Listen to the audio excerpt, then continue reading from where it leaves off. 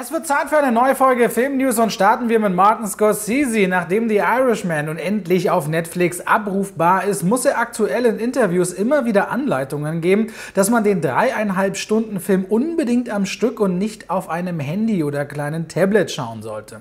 Schon Wahnsinn, dass man Menschen heutzutage sagen muss, dass man das Handy beim Schauen eines Films weglegen und nicht immer wieder pausieren sollte, aber die immer kürzer werdende Aufmerksamkeitsspanne lässt nun mal grüßen. Derweil nimmt Scorsese nächster Film langsam Fahrt auf. In The Killer of the Flower Moon kehren seine Stammschauspieler Robert De Niro und Leonardo DiCaprio zurück. Der Film erzählt die wahre Geschichte der Ermordung amerikanischer Ureinwohner in den 1920er Jahren, um an große Erdölvorkommen zu gelangen und die Jagd des FBI nach dem Täter.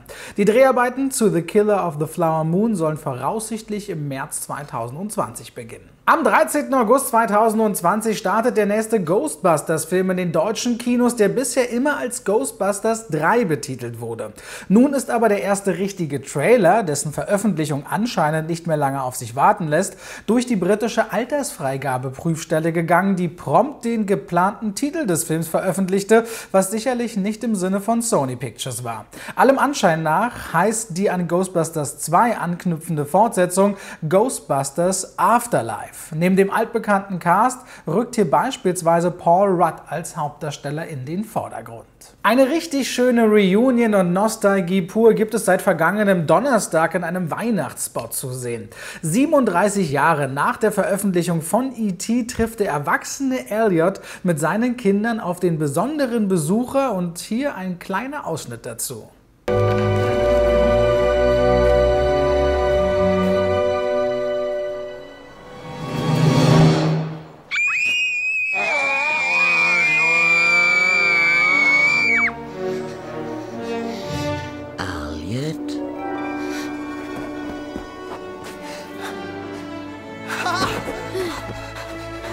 Elliot! Du bist wieder zurück.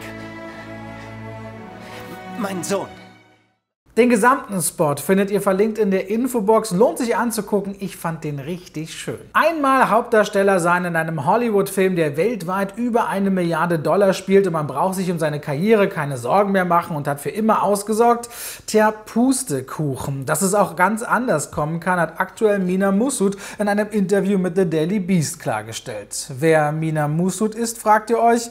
Das ist der Hauptdarsteller aus der diesjährigen Guy Ritchie Realverfilmung von Aladdin und er verkörperte logischerweise Aladdin.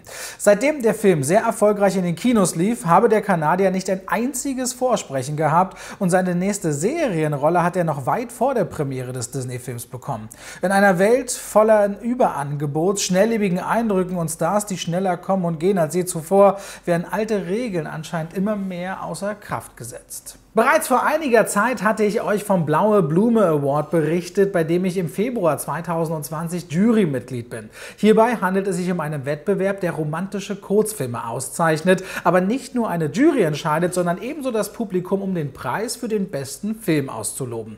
Noch bis zum 9. Dezember könnt ihr für euren Lieblingsfilm abstimmen und unter allen, die mitmachen, wird zusätzlich eine GoPro Hero 7 Action Kamera verlost. Den Link zur Website, auf der ihr alle 10 Kurzfilme votet, voten und anschauen könnt. Und da sind wirklich ein paar tolle Ideen dabei. Findet ihr natürlich in der Infobox. Und ich würde mich freuen, wenn ihr da mitmacht und euch selbst vielleicht ein wenig inspirieren lasst. Und hier noch zwei weitere Kurzfilm-News. Am 25. Dezember erwartet uns die Musical-Verfilmung von Cats in den deutschen Kinos. Und nachdem der Look in den Trailern viel Spott nach sich zog, soll der CGI im finalen Film verändert und angepasst worden sein. Nach Sonic also der nächste Ruf des Publikums, der erhört wurde. Und nachdem Netflix sich in der Vergangenheit Vergangenheit die Rechte an 16 Roald Dahl Werken gesichert hat, soll sehr bald die Produktion einer eigenen Charlie und die Schokoladenfabrik Serie beginnen.